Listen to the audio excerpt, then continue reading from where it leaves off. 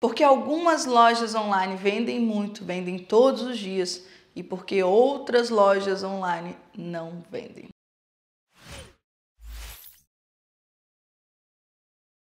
Eu sou Sabrina Nunes, eu tenho uma loja que vende todos os dias. Eu estou aqui para bater um papo com você hoje, para a gente entender por que algumas lojas vendem e por que outras lojas não vendem. Eu criei minha loja online há 10 anos atrás. Nós somos o maior e-commerce de joias contemporâneas do Brasil, vendemos e enviamos para o Brasil inteiro. E hoje eu quero contribuir com você é, contando para você sobre coisas que eu tenho visto no mercado, coisas que eu faço que me ajudam a vender mais e coisas que muitos alunos meus estavam errando, pecando e não fazendo. E com isso eles tinham lojas que não vendiam. Se você é novo por aqui, se inscreve no canal, é importante para mim que você se inscreva. Comenta aqui embaixo, hashtag inteligência do YouTube, se você já faz parte dessa nossa comunidade. Mas vamos lá, analisando friamente o que difere uma loja que vende de uma loja que não vende, não é plataforma. Também não é só falta de marketing. O que separa uma loja que vende de uma loja que não vende é um conjunto de ações que não são feitas ou são feitas, como eu digo, pelas coxas. Sabe esses negócios mal feitos? Quando a pessoa vai lá e faz só para cumprir tabela, só porque fez. Vamos separar entre a turma que não vende versus a turma que vende, né?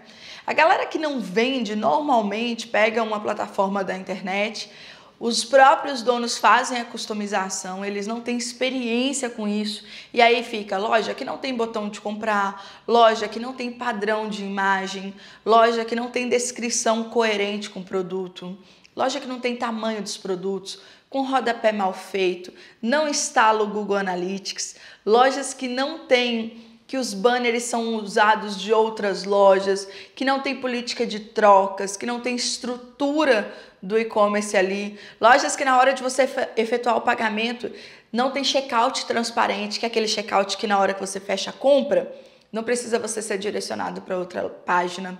Lojas que não têm integração correta com os correios, que não sabem sobre dimensões dos seus produtos e colocam qualquer dimensão, isso faz com que o frete fique altíssimo. Então, tudo isso caracteriza a nível de plataforma uma loja que não vende. Agora, vamos comparar essa loja que não vende com uma loja que vende todos os dias. É uma loja clean, não importa a plataforma, mas ela é uma loja que foi feita pensada na usabilidade do cliente. É uma loja que funciona melhor em tablet, telefones, smartphones, aparelhos menores. É uma loja que se comunica e se conecta com a sua persona, que tem checkout transparente.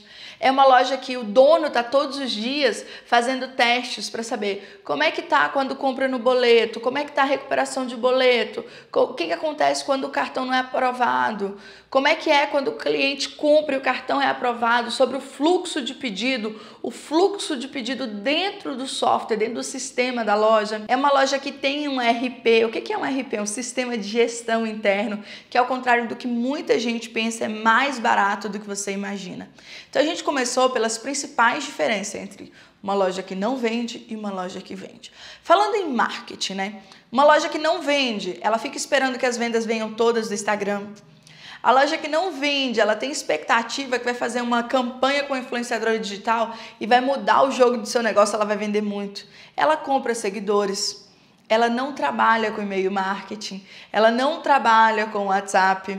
Uma loja que não vende, ela não tem profundidade de estoque. Uma loja que não vende, além de ter um empresário, um empreendedor desmotivado, se tiver colaboradores, eles também estarão desmotivados. Porque a venda é coloca energia dentro da empresa e é o que traz dinheiro para dentro da empresa. Uma loja que vende, ela faz investimento em mídia, seja Facebook, YouTube, Instagram. Uma loja que vende trabalha muito com landing page, captura de e-mails, que ao contrário que muita gente pensa, e-mail vende, vende muito. Uma loja que vende, ela tem uma conexão com a sua audiência, então ela gera valor para a sua audiência, ela vende mais para as pessoas que já compraram uma vez ela cria campanhas estratégicas para fazer com que outras pessoas que não compraram ainda, tiveram contato com a sua marca, comprem. Ela cria campanhas estratégicas com influenciadoras digitais focadas em brand, não só em vendas. Uma loja que vende, ela tem uma postura diferente no mercado. Uma loja que vende, ela tem uma postura diferente na comunicação, na hora de recuperar carrinho abandonado.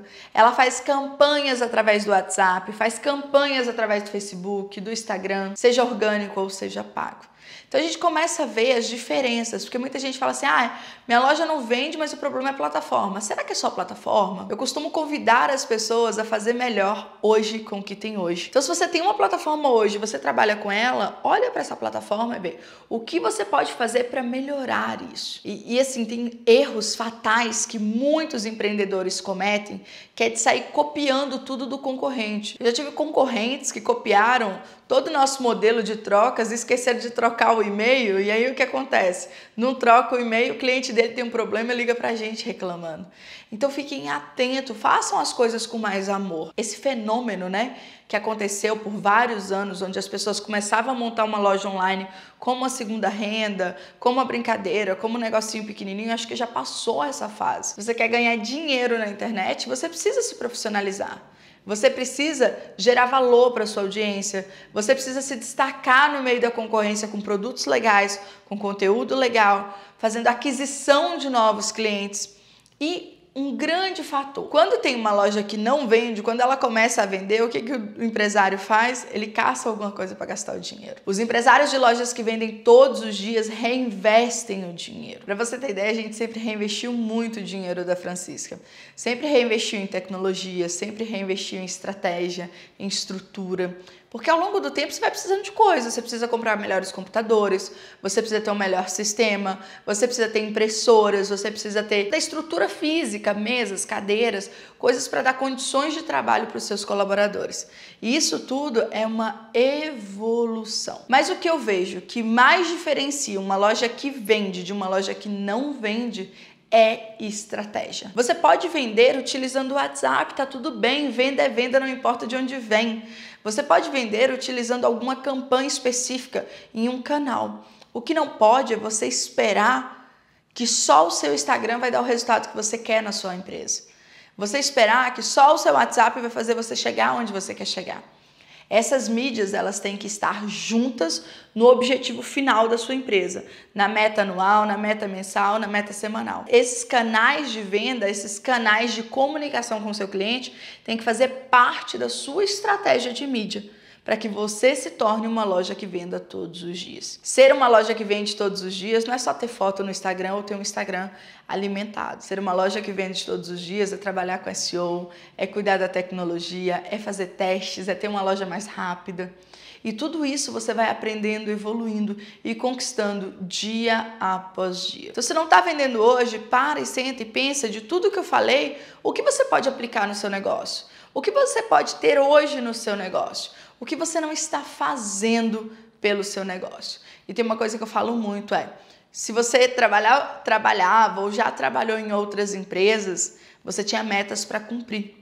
Quais são as metas do seu negócio que você não está cumprindo hoje para realizar os seus sonhos? Eu desejo de verdade que você tenha uma loja que venda todos os dias, que você cuide da experiência do seu cliente, da embalagem, do processo de expedição para não ter erro, não ter trocas e diminuir os problemas que vão acontecer, mas para isso você precisa estar focado em crescimento. Para isso, você precisa enxergar as oportunidades do mercado e precisa trazer e aplicar estratégias dentro do seu negócio.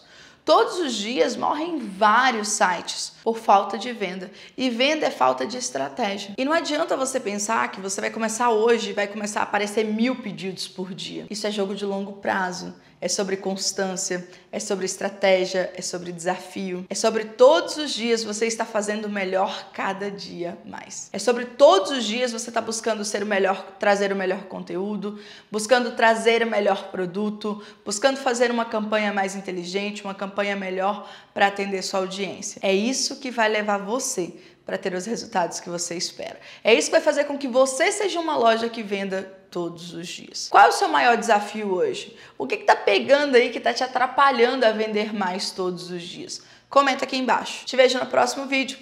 Beijo grande. Tchau, tchau.